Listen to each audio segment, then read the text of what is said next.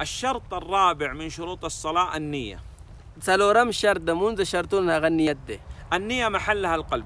د نیت محل چې دی هغه زړه دی التلفظ بها بدعة ضلالة مخالف لما كان عليه النبي صلى الله عليه وسلم. ژبه باندې ویل تلفظ کول دا بدعت دی گمراهي ده أو د رسول الله صلی الله علیه وسلم مخالفت دی لم يتلفظ النبي صلى الله عليه وسلم بالنية.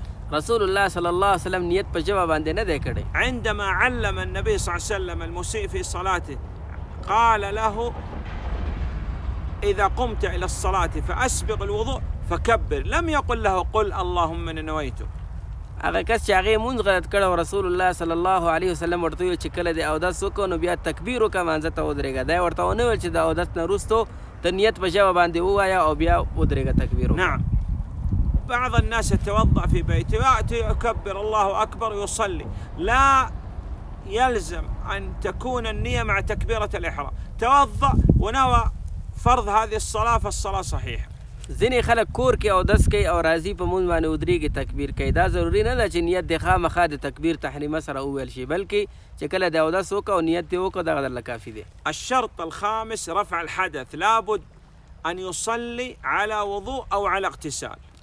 پنځم شرط هغه دا دی چې بې اودسي هغه به ختموي لازمي خبره ده چې یا په اودس باندې مونځ وکړي او یا غسل کوي نعم لو خرج منه ريح أو مثلا بال ولم يتوضأ وصلى الصلاة باطلة.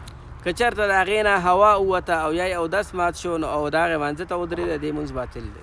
صلى بعد أن خرج منه ريح أه، بعد أن خرج منه مني ولم يغتسل فالصلاة باطلة مونځ یې وکړه وروسته یې دې نه چې مني ووتل غسل یې نه و کړی مونځ یې باطل دی نعم. الشرط السادس من شروط الصلاة. شپږم شرط د مونځ د شرطونو نه إزالة النجاسة. لابد أن يزيل النجاسة عن ثلاثة أشياء. د نجاست ختمول دی ضروری خبره ده چې نجاست د درې شیونو نه ختم کی. عن البدن د بدن نه والثوب د کپړې نه. والمكان اللي يصلي أو فيه. کوم ځای کې چې مونځ کوي د هغې نه. فلو صلى واكتشف بعد الصلاة أن على ثوب نجاسة وكان لا يدري عنها فالصلاة صحيحة ولا إعادة عليه. که چېرته مونځ یې وکړه أو د هغې نه وروستو ورته پته ولګېده چې کپړو باندې نجاست و نو د هغې نه وروستو بیا د هغې مونځ صحیح دی اسم پرې. لكن إذا علم بوجود النجاسة وقدر على إزالتها وصلى بها فالصلاة باطلة والله أعلم.